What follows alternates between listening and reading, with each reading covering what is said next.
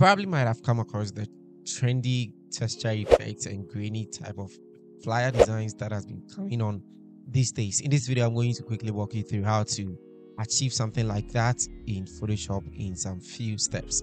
And this is coming up.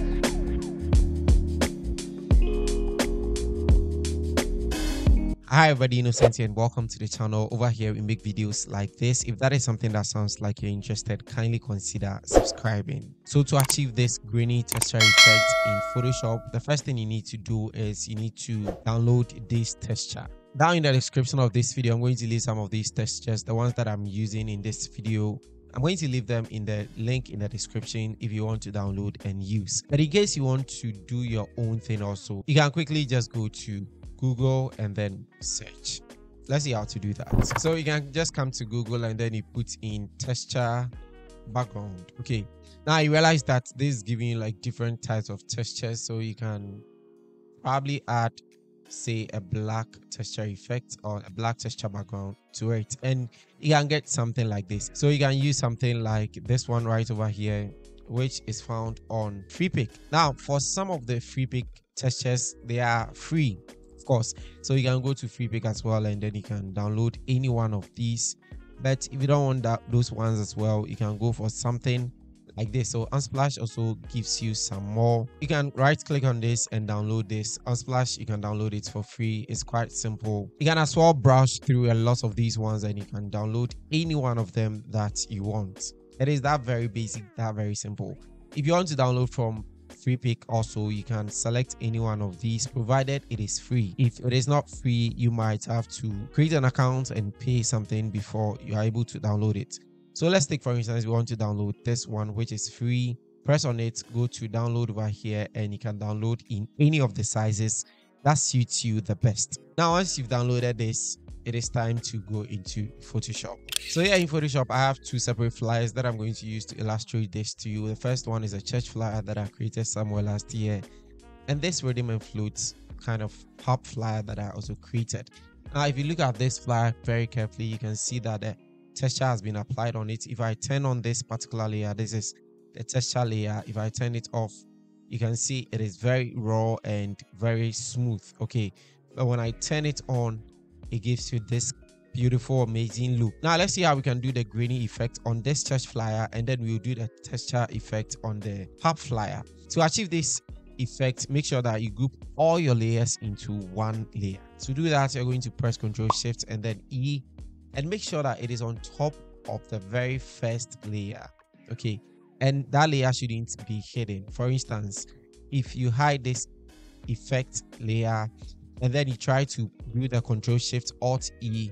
It is going to reflect on top here. It is not going to reflect because the layer you want to create it on top it's not visible. So you make sure that all the layers are visible and then you can press control shift e to put it on top. The next thing you want to do from here is you right click and then you can create or convert this to a smart object. You should do this to save you time in case later you want to transfer this effect that you're about to apply to another flyer I'll explain later in this video. Now, the next thing you do is you make sure that your foreground color is set to a color, not don't leave it white. You can put it to any color. And in most cases, you make sure that you use the dominant color in this or in the flyer that you are using. So you realize from here that I'm, there are a lot of blues, dark blues and cyans in this. So I decided to go for a bit of cyan or a bit of blue. And then you can click OK. Right after the the next thing you want to do is you go to filter and then filter gallery. So for this one we want to click on the texturizer over here. We'll add texturizer later in this video. I was just using it but the most important one that you add to this is the grain. So we are going to choose grain over here. And you can see the effect right off here. In fact this one alone is able to do a lot of the things. So you choose the grain over here. Let me scroll down a little bit and you can see it the grain is applied on all the images and all. Now you can decrease the intensity if you don't want it too much so you pick the intensity over here and you can decrease it slightly. If you put it to zero of course you're going to have it like the normal flyer that you brought in. But you want to increase the intensity some more so that we can see the grains a little bit. Okay and you can as well increase the contrast or decrease it depending on how you want it. So you want to increase it slightly. And the grain type let's leave it at regular. But of course if you want to explore the other ones these are some of the ones. Soft sprinkle don't want this one. Clamped is too not good. Contrasting so of course let's stick to either regular or soft these two should work for you. But a regular of course keeps the original design so let's leave it like this. If you click on ok over here you can see that if you zoom in you are going to see the grains on it a little bit. Now let me turn this off as against the original flyer okay so you can see the grains has been added to it which makes this super simple eh, very straightforward okay but of course you can add some more grains to this okay so with the same layer let's go back to filter and to the filter gallery and we can add some grains to it again. So you can use the new effects layer over here. Let's add one more and we can go to say uh, let's choose reticulation. This reticulation also adds a bit of effect. You can increase the density or you can decrease it. And let's add one more layer. I just want to show you how this actually works. So we can add a texturizer as well and we can also increase or decrease the scaling. Okay so these all adds some sort of effect to the flyer. It is that very basic that very simple. Now once you do it like this you'd realize that this whole thing has changed and it's picking the colors right here. That is why i said you choose the colors that you want. And in case you have it like this you can just simply go to your blend mode and then you can set this to a soft light. I don't really like using this one in essence because it sort of makes or changes the whole design though you can still see the grains in it.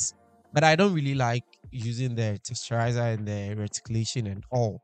I simply love to use my grains. But in case you are doing other flyers that these texturizer reticulation and other effects that you have in there works out for you you can of course use it. But if you want to keep it very simple you just add the grains. Besides it's the grains that you want to see. So you just add the grains and you are good to go.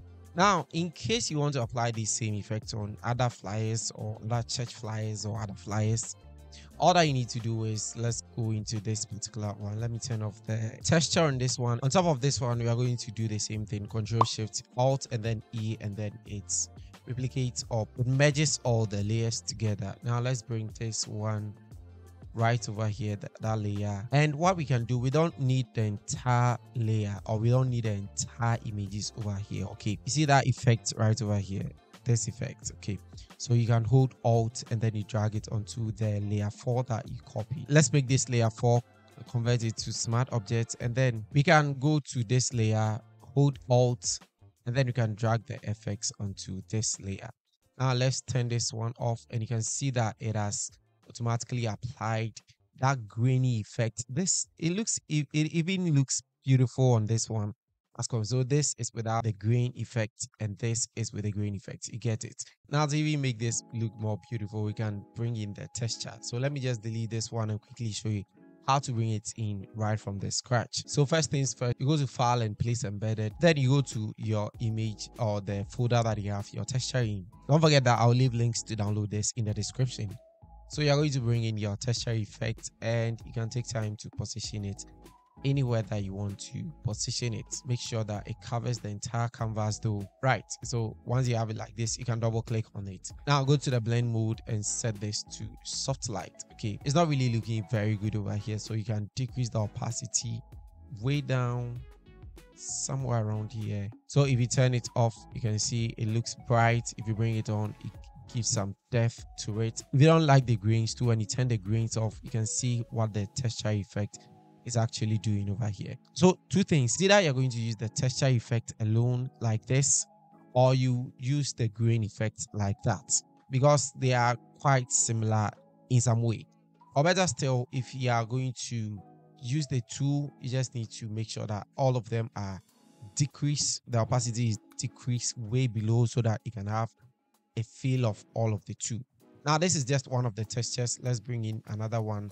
So let's go to file, place embedded, and let's bring something like this one. This one is more in depth. So let's bring this here and we'll repeat the same process. We go to blend mode and soft light, and then we can reduce the opacity entirely. So this one is going to give you like a dotted kind of grain you can see the effect on it dotted kind of grains or dotted kind of patterns on this flyer. So we have this we have this texture effect and we have this grain effect as well.